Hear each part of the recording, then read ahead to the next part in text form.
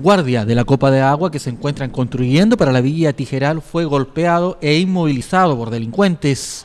Refugiándose en la oscuridad, cuatro antisociales llegaron al lugar, redujeron al guardia y sustrajeron distintas especies. Eh, un asalto, un robo a la constructora que está eh, edificando la nueva copa de agua en el sector, en la cual eh, mantiene, digamos, vigilancia ahí con personas civiles individuos desconocidos ingresaron al lugar y, eh, digamos, manatearon uno de los vigilantes, lo amarraron de, mano, eh, le sustrajeron un generador eléctrico y un teléfono celular.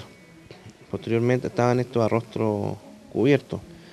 Eh, posteriormente a esto se dieron a la fuga del lugar, eran más o menos entre cuatro o cinco personas, por lo que pudo ver el afectado en este caso su compañero de vigilancia, su compañero de labores, después al, más o menos los 40 minutos, una hora después, se, percató de este hecho y logró, digamos, desatar a su colega y dieron cuenta del hecho a Carabineros.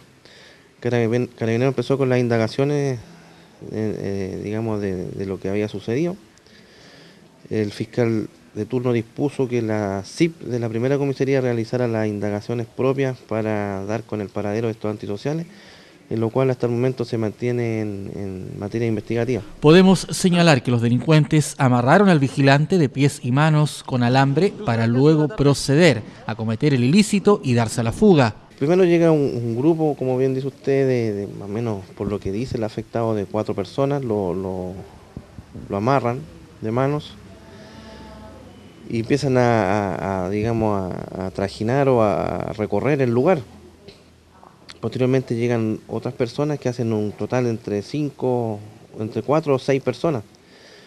Eh, posteriormente de haber registrado el lugar, eh, se percataron que se había faltado un generador eléctrico y un teléfono celular del, afectado. Eh, posteriormente a esto se dieron a la fuga y